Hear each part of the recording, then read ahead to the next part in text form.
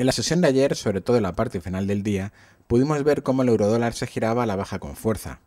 Al final, si cogemos el gráfico de los últimos meses, sí que podemos decir que el giro de ayer se produjo desde importantes niveles de resistencia ante soporte.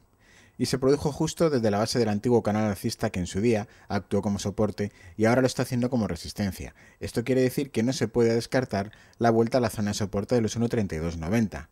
En cualquier caso, lo interesante es que el gráfico se empieza a limpiar algo más, y al menos podemos ver cómo los niveles de soporte y de resistencia se aclaran.